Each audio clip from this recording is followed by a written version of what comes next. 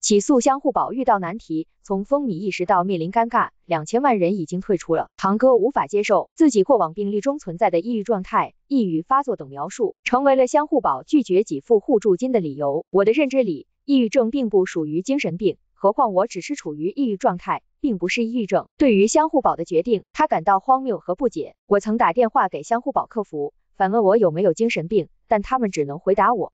抑郁症属于精神病的范畴。目前，从支付宝客户端进入相互宝页面，会有一则健康告知确认单。确认单显示，既往或目前患有精神疾病的自然人，满足本健康要求的其他条件时，可以加入相互宝慢性病人群防癌互助计划。而在更早之前，网络互助的规范管理呼声不断。网络互助平台存在各类假借保险名义和保险术语夸大宣传的情况，背后快速增长的资金池和海量会员信息等，也事关公共利益。